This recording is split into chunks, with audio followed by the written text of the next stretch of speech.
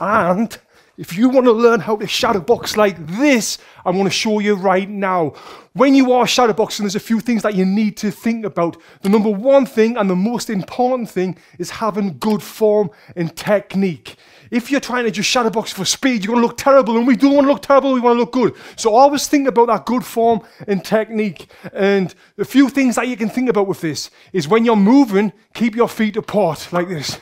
We never want to be bringing our feet together or crossing our legs because we look terrible and we're off balance and we can't throw any punches from that position. So you always want to be keeping them feet apart.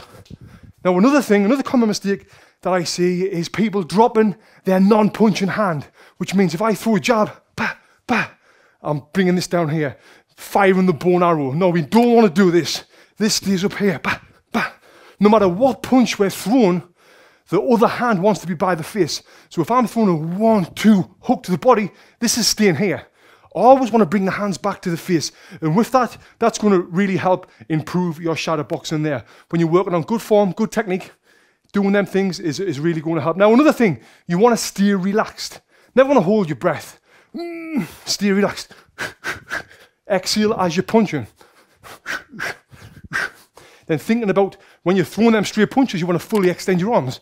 I see it all the time where people, because they're shadow boxing, they're just taking it easy and they'd be like, meh, meh, meh, and they're doing this sort of crap here. If you're shadow boxing and you're like this, you know, what's going to happen? You're going to get into bad habits. We don't want to get into bad habits because if you get into bad habits, it takes a very long time for you to get out of them bad habits. So let's avoid them at all costs. Try and always stay with good habits. And to do that, like I mentioned, you've got to slow it down. So slow it down. Even this speed here. Bam, bam, bam. Working on good form. Then once you slow it down, and, and work on good form. Then you can start to speed it up once your form is good. Now, another thing, to look like I was doing in the beginning, to look like that, you want to start learning about head movement. It's a bit more advanced, it will feel a bit more awkward, and you want to move your head before and after every punch. Now, when you move your head before and after every punch, your shadow boxing goes from this to this. And like right there, I can see and I can feel much better.